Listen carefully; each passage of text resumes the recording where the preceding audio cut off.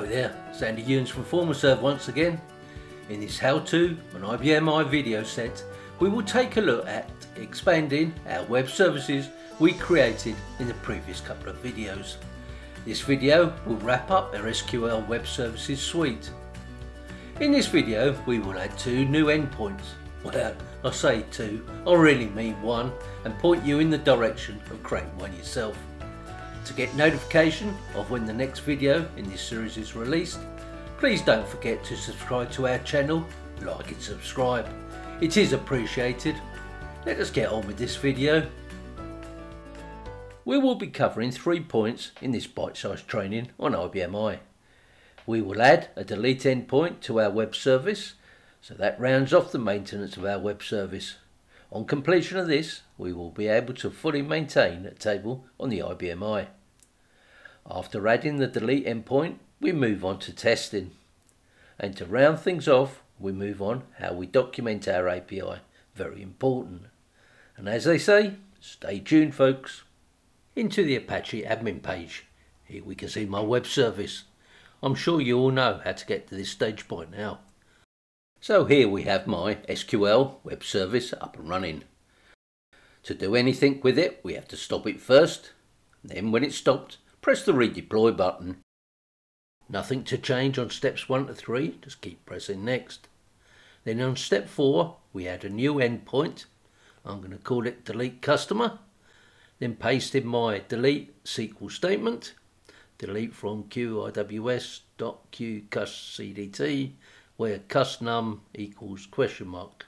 So once again, using parameter markers for the custom number to delete. Then press continue. Now select the delete customer endpoint and change the param parameter to custnum. Then we press continue and next. Then step through the existing endpoints, pressing next, until we get onto step 5, the delete customer. The first thing to change is the HTTP method from the get to a delete and the URI path to backslash, then in curly brackets, custnum, which will hold our customer number. And then change the input type to path param, just like we did for the get individual customer endpoint. Keep pressing next until we have been through all the deploy stages and back on managed services. Refresh that, still installing, and now stopped. Click on the managed service again and press start. A couple of refreshes and it's now up and running. And you know where we're going next? Over to the postman.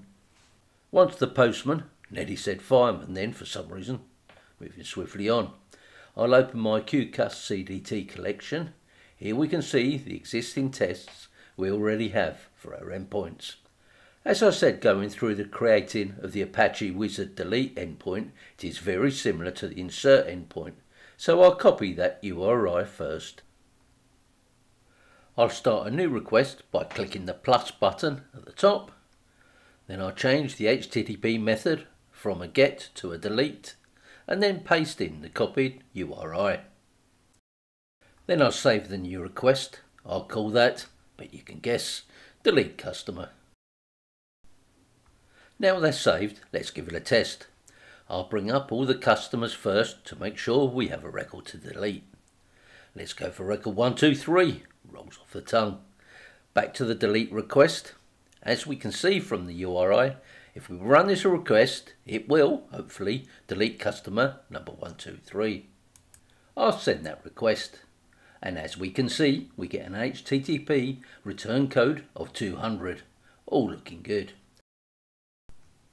Suppose I'd better show that record no longer exists on our table. I'll call the individual customer endpoint with 123 and there we have it. No record exists for 123. Our delete endpoint is working. You can see I've also added a count endpoint. This is very handy for testing purposes. If you've been following this series of bite-sized training, I'm sure you will be able to quickly add a select count statement to a new endpoint. Let me know how it goes. And now we move on to the most hated job as a developer, documentation. Good documentation is an essential part of any API or web service.